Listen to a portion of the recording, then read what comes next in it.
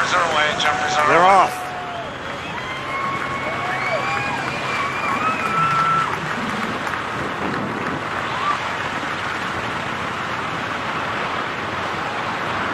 Now he's practicing the flip. That's how he'll have to land. He'll have to land on his back.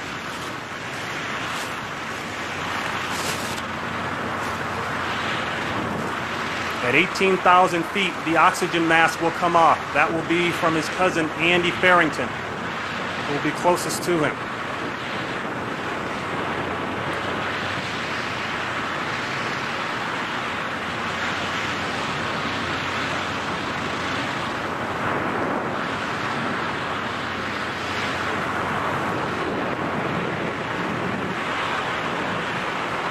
There goes the oxygen mask. Now at 12,000 feet, he'll hear a beep in his helmet. That will tell him he's halfway home.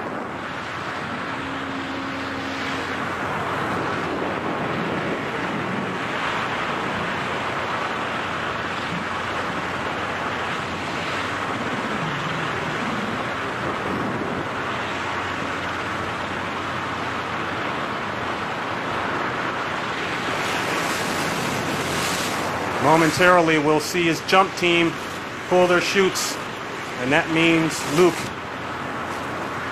is all alone for the rest of the way. At 6,000 feet, he'll get another beep in his helmet.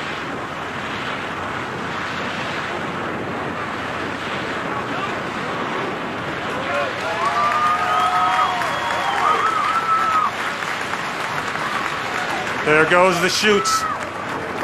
Luke is on his own.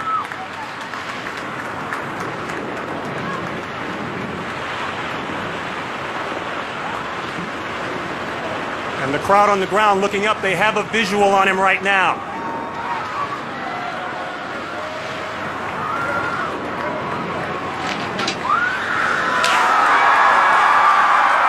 He's in.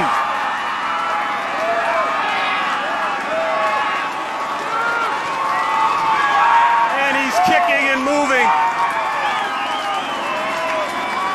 From here, it looked perfect. You've just witnessed history being made. Absolutely amazing.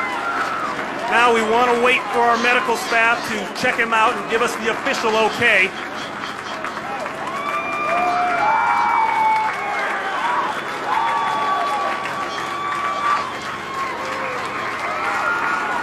The trap is being lowered. This looks like a win all the way. Rest of his team hits the floor. History made as he hugs his wife.